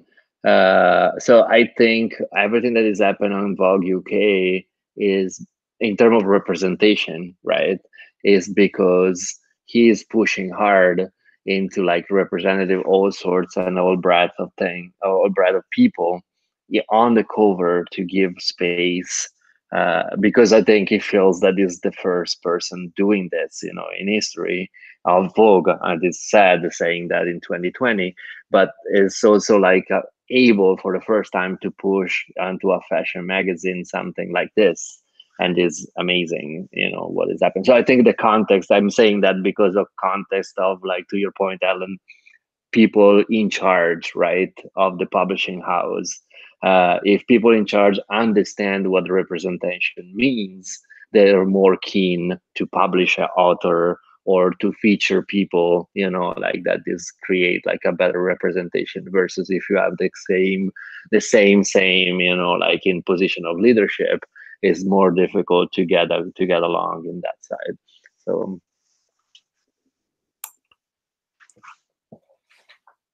Okay, here's the actual cover, spread open, uh, featuring 20 of the 40 activists. So it's like a fold down. Pretty cool. Actually, And we've hit the action part. This is um, a little bit of what we can do in our everyday design lives and to make things accessible. A quick disclaimer though. You know, we don't have to feel overwhelmed here, right? This is a start. This is a stepping platform. I'm an expert in my field from what I've done, but I've also become an expert in my field because I've followed other disabled activists, designers, writers. Like there's like the Black Disabled Creatives database that is just filled with beautiful disabled representation and people to hire and things like that. Um, the first thing I ever learned about accessibility was at alt text because of a Tumblr blog, because a friend of mine was deaf and I would read their content and then they would add image descriptions for the blind. And I was like, oh my gosh, it makes so much sense. So, like, everyone is an authority in their own perspectives of it, you know? So don't be afraid. We all start somewhere and um, what's works for some might not work for others. And that's what I love about the disabled community. We come together, we say, what worked for you? Okay, what worked for you? Oh my gosh, what if we did it this way? Like we're just experts at adapting. And I think if you really plug into the disabled community, like even if you check out half my Instagram people I follow, you will find a whole network of people. And I can offer some later if we have questions later on. But um, yeah, so let's, you know, there are little things that we can do for sure. And we're going to get through them now.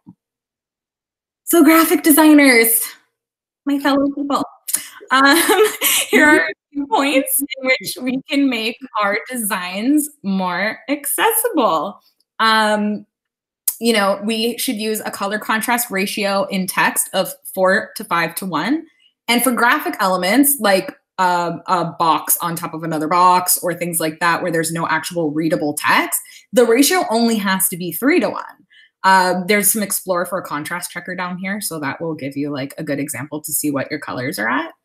Um, use legible fonts that are easy to read. That includes text spacing, like with a line height of 1.5 the times the font size paragraph spacing two times. This is on the website accessibility guides. A lot of design kind of overlaps with web design too. Um, letter spacing should be 0.12 times the font size, and word spacing should be 0.16 times the font size. Um, you know, use don't try to steer away from uppercase, italics, or decorative fonts for large copy. It's not easily read. Uh, and though there is some things to say that serif fonts are good for like books, uh, for digital web display, it's much better to have a sans serif for large bodies. Um, use clean and concise layouts with a hierarchy. We all know this, you know, our headings, our subheadings, our body content. We can separate these, make sure there's a lot of padding and negative space to kind of section things nicely. Uh, use plain language, you know, grade six to eight reading level in your content so it can be understood by many people. Use alt text and image descriptions in your documents as well as your social media posts. If you're posting digitally, you want to make sure that everyone can know what you're doing. Uh, and of course, hire and collaborate disabled designers for authentic imagery, illustrations, or stock photography. Like so many times, we as designers, we often outsource things anyway. We like, oh, so and so's a good animator. Let's get them to do this. So why not outsource for, oh, so and so draws these beautiful people in wheelchairs and they're disabled themselves. Let's hire that person to give us some content, you know? Um, another good one to reference is designing for accessibility, which actually provides a whole do's and don'ts for designing for different disabilities uh, from the UK government, actually. And you know, so it talks about like how to design for autism, for screen readers, blind or low vision folk, deaf or hard of hearing, physical disabilities, dyslexia, and it has it all in a beautiful graphic that's easily understandable. So that's a huge one. So off to the right here, we could see like a little person with a scale and they're not happy because the contrast ratio is not enough in the first one, though we might be able to think it's enough. It's not that four to five to one ratio. Whereas the second one, they're super happy because that's more legible and it's easier to read. And web developers. Um, so for website development, you are going to follow the WCAG 2.1 guidelines, which is the Web Content Accessibility Guides for double A compliancy. I know it's a lot to read. It's a lot of um, heavy content. I'm actually currently secretly working on a simplified version of it that I'm going to be providing probably within the next few months. So it'll really break down each level of compliancy and what that means on web design. Um, so, and you can link back to that too. So, looking forward to that. Um, we use HTML5 structure. You know, don't do silly CSS hacks that are going to affect the formatting, like too many, um, you know, absolute fixes or or um, fixed content. Um, the site should be navi- uh, navigatable. I think I made up the word by screen readers. Um, use labels for forms, not placeholder text, because the actual assisted devices will read out the label where it doesn't always read out the placeholder text. So it might look nicer, but it's not really that accessible. Uh, for user interface or user experience, apps, etc., you know, consult with disabled people. We talked about um, doing focus groups, things like that, so that you can see how that device is going to be used by people with disabilities, and you can make sure it's accessible right from the start.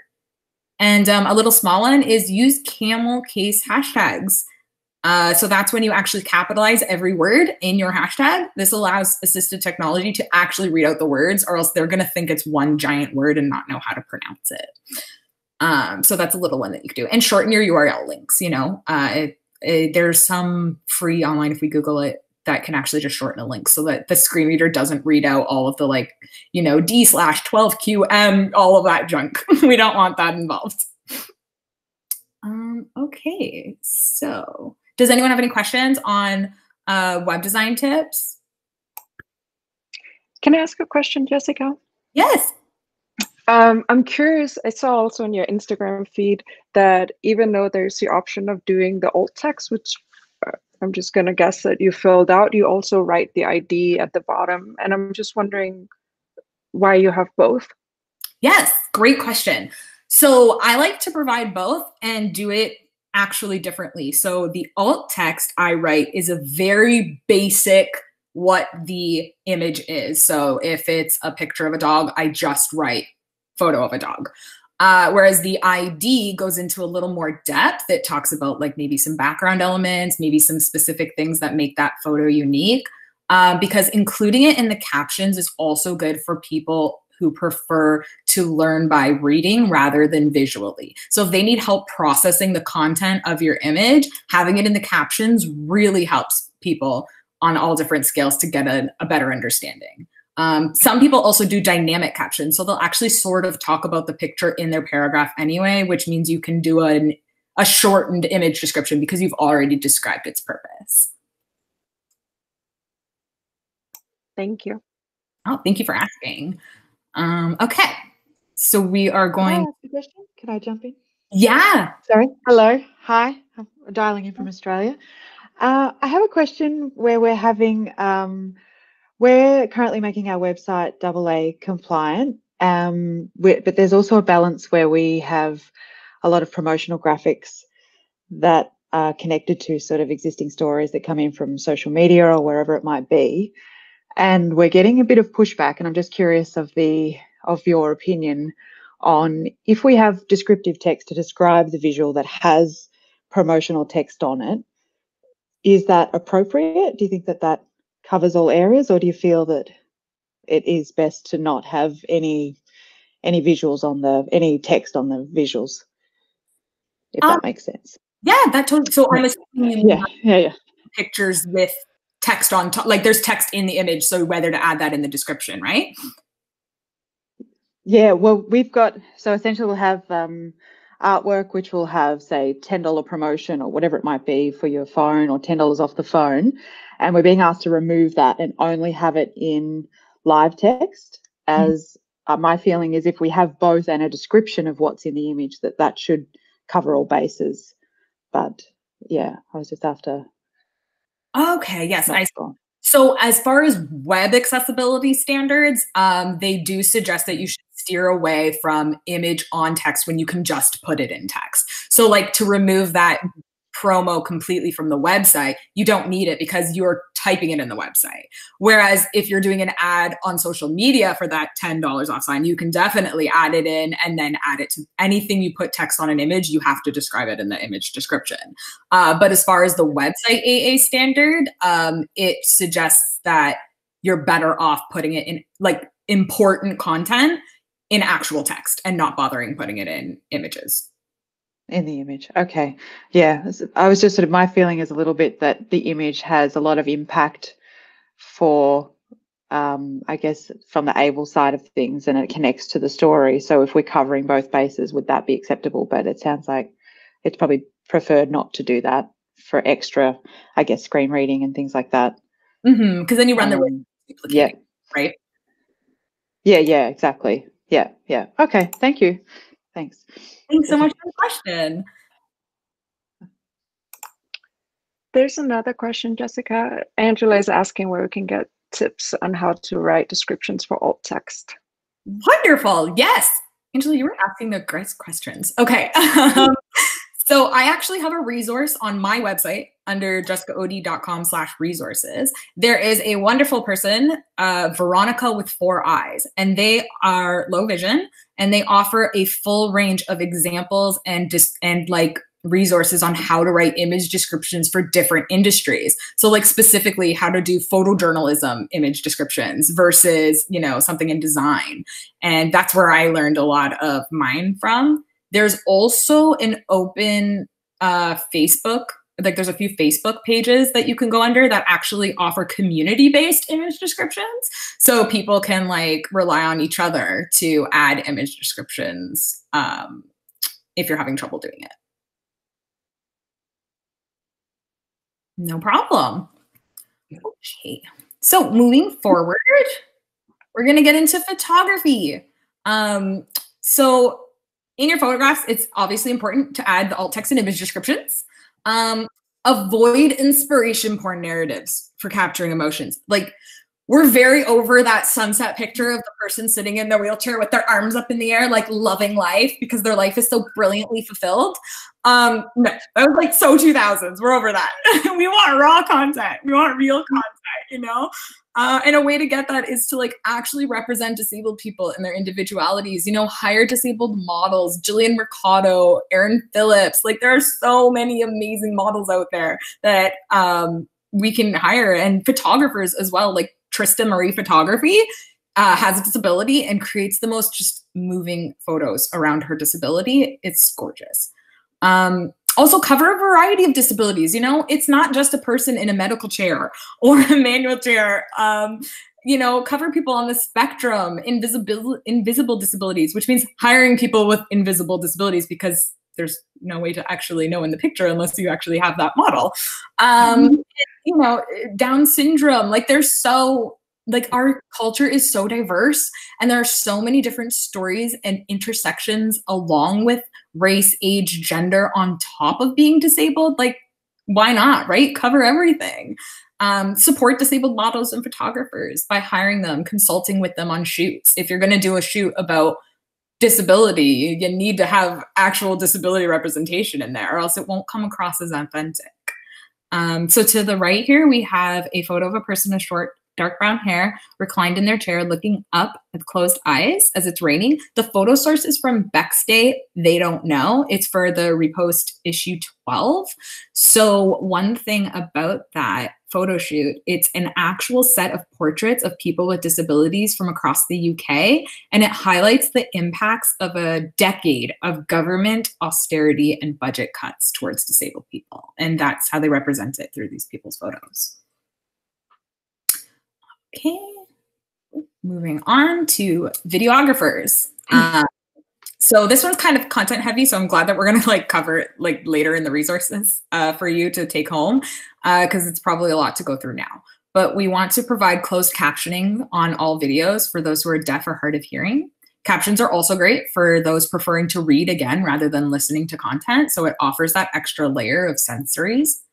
Uh, provide audio descriptions for those who are blind or visually impaired. So, like the setting of an area needs to have an audio description so people know where they are in a room um, or what the setting is and the backdrop is for the video. Um, transcripts are also recommended for, which is a text document describing all the audio, including timing, ambiance, setting descriptions, and captions for speech. So, having this option, I've even used it on a couple seminars where I missed the seminar or I couldn't pay attention to the seminar very well. So I read the transcript later because I didn't feel like watching an entire video as well. So it's really good. Um, if your video is purely decorative uh, and doesn't contain vital information, just make sure users are aware of that in another way on text on websites. Like this is the purpose of the video rather than since there's nothing to caption and things like that. Um, ASL, American Sign Language, or BSL, British Sign Language interpretation should be also considered when capturing and uh, live events and recordings. Uh, it's an entire language within itself, and there's such a cultural attachment to it in the deaf community. Uh, where it's exclusive. You know, people may prefer sign language over captions. Some people might prefer captions over sign language.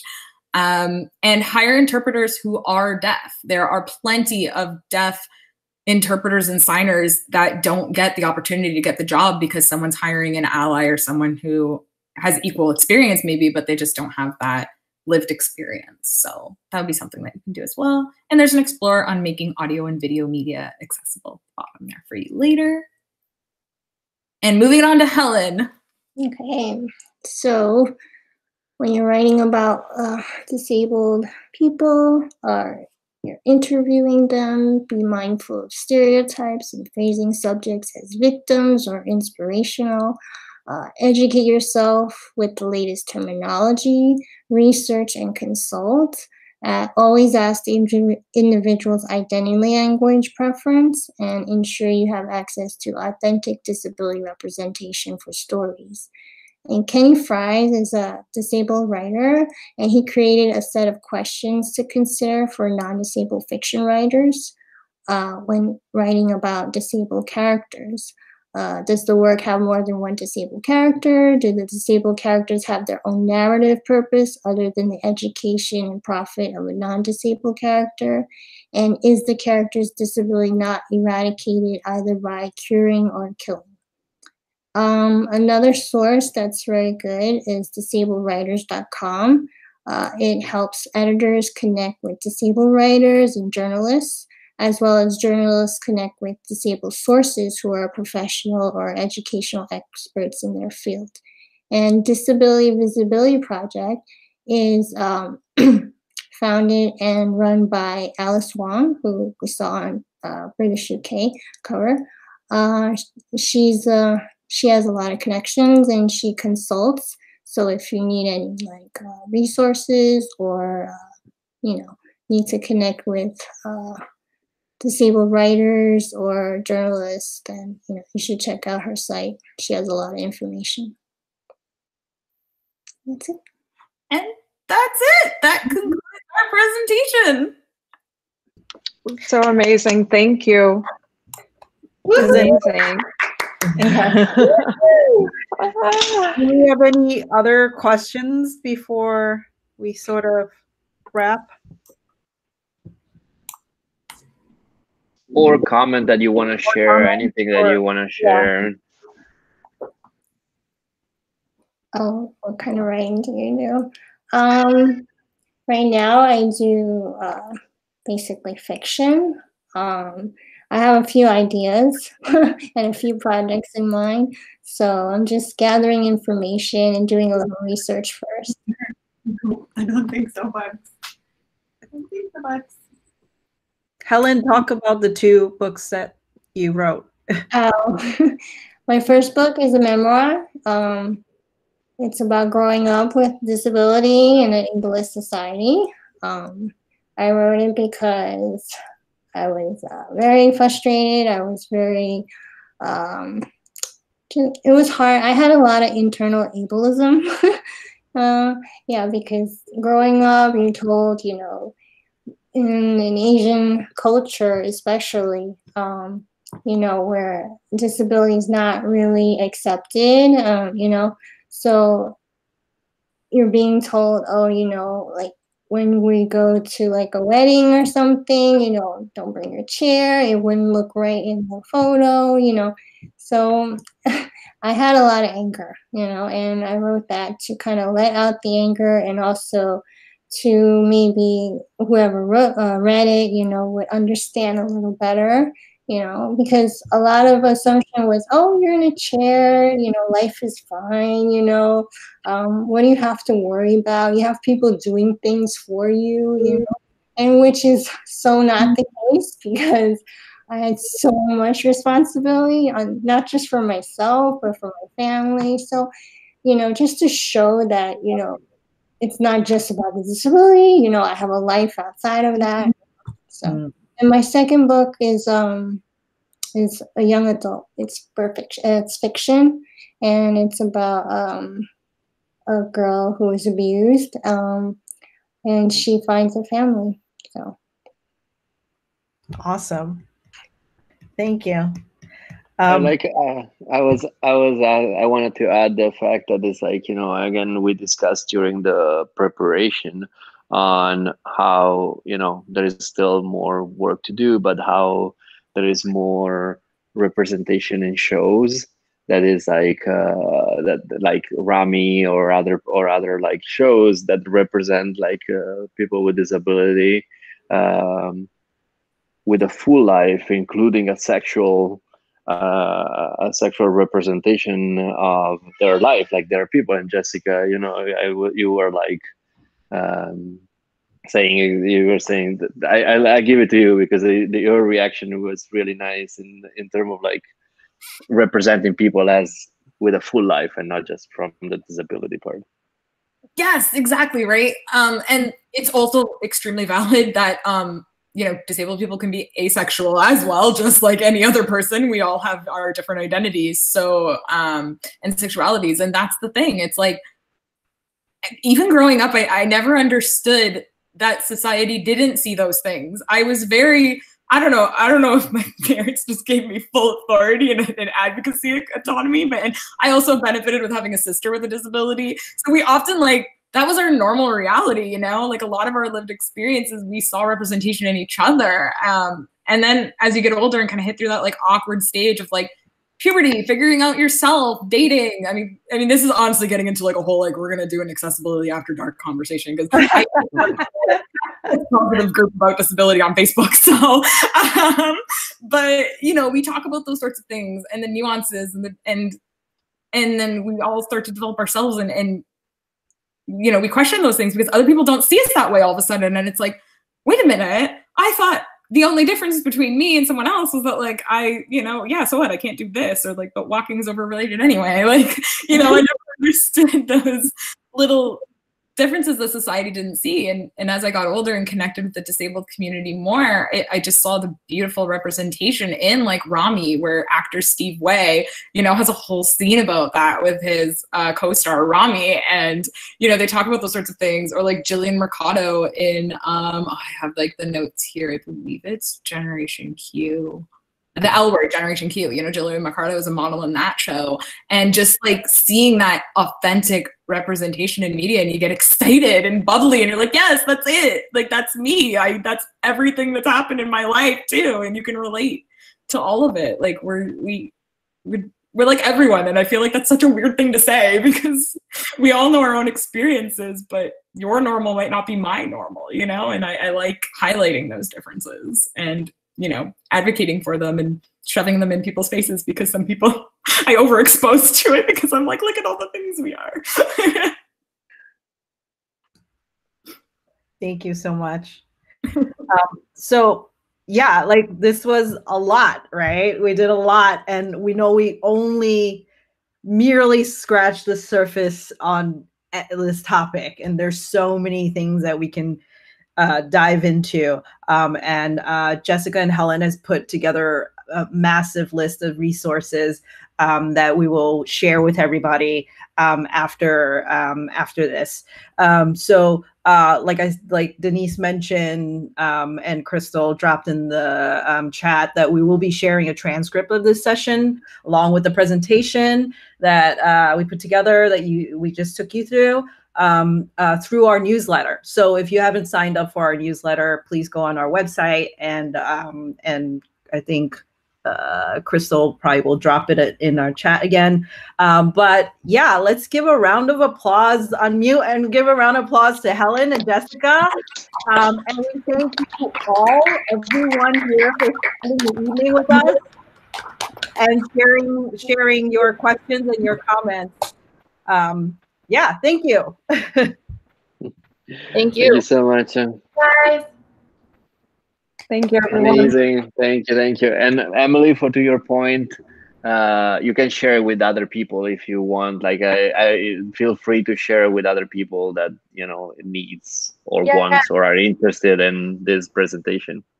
This is yeah. I'm I'm so grateful because I'm working with a web developer right now, and I feel like I need to get this to him right now. About and I did um, really quickly want to share that my mom um, teaches, she's a special education teacher adult for adults and um, her students have, they are really high functioning, cognitively impaired, and please catch me if I'm not using appropriate language. Um, but I'm so excited to share this with her because she's been teaching for since the 80s and this is such a contemporary progressive like really refreshing presentation. And i like i'm like you said you're excited to you know shove these truths and experiences in people's face. Like i can't wait to make her like talk through this all with me and to just i think get to know her students um, better through y'all's wisdom. So thank you so much.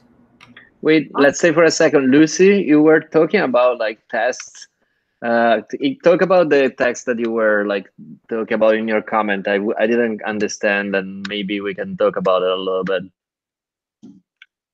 Probably you're muted. I think she's figuring it out. Is that Cassie? Did you say? Mom, it's on the bottom bar. It's the No. microphone. No. There you are. Hello. Am I there? Yeah, Yeah, Yes. Talk loud though. Oh, talk louder. Okay. Oh, I was um I am also I'm an educator and um I work with kids in grades through 3 through 5. So I love hearing what you're saying. So I've been in schools for over 20 years. So obviously there's been a lot of good changes. Um, my comment, Diego, was about um, the plethora of standardized tests that American children have to take. And while I can't comment on the validity of the testing, one thing that we that I've seen that's been a huge change was um, I was just referring to that graphic about the widgets.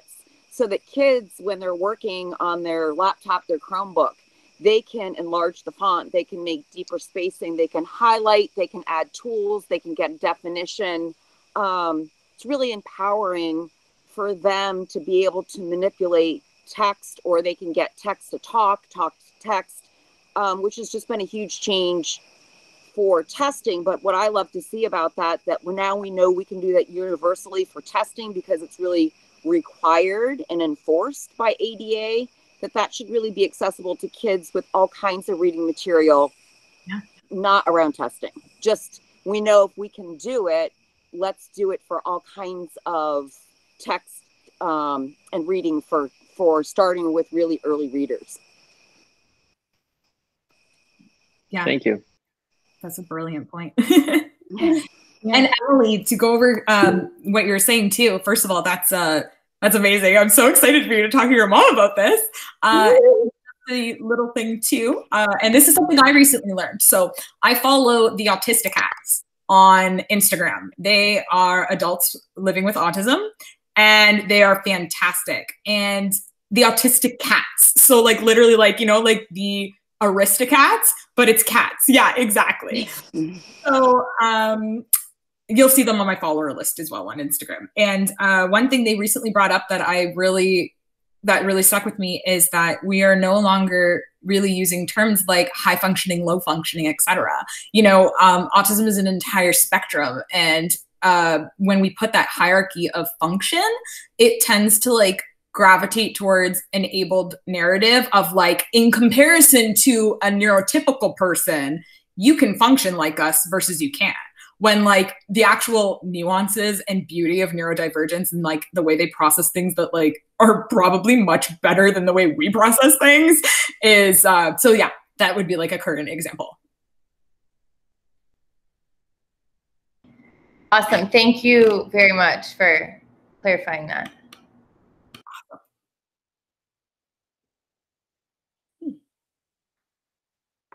I think if there are no other comments or question, we can uh, wrap. And uh, thank you for everyone that came from everywhere. I'm excited to have an Australian, multiple, two Australians. Uh, one has to leave early because she was still working. It's incredible. So this is like the beauty of the digital and Zoom world. While we can be all in the same room and chit chat and share, we can expand the audience to other uh, and we have people from ohio from all sorts of like you know like uh, places uh, connecticut and washington so it's really beautiful to have like uh, participation from everywhere and not just in the same room so that's great thank you so much guys Thank you. Thank you, y'all. Thank you. again